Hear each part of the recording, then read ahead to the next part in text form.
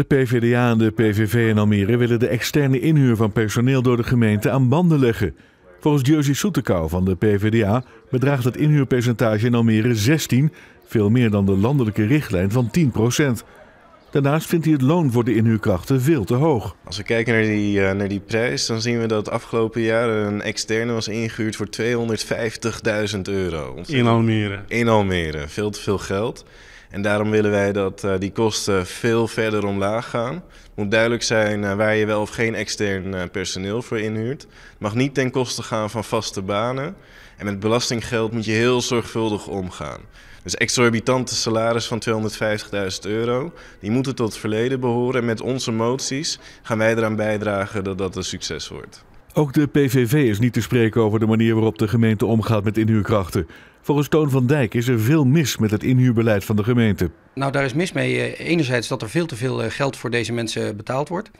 En anderzijds heb ik uh, de declaraties die uh, klaar lagen naar aanleiding van schriftelijke vragen die de PVV heeft gesteld, die heb ik ingezien. En ja, toen brak mijn klomp eigenlijk een beetje, want toen bleek dat al die declaraties er anders uitzien. Er op een verschillende manier wordt gedeclareerd.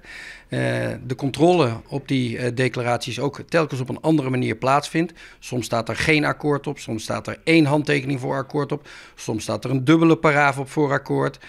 soms is er thuiswerk gedeclareerd zonder dat duidelijk is hoe dat gecontroleerd is. In enkele gevallen is er bijna 50 uur in de week gewerkt, wat ook wat vreemd is voor een ambtenaar.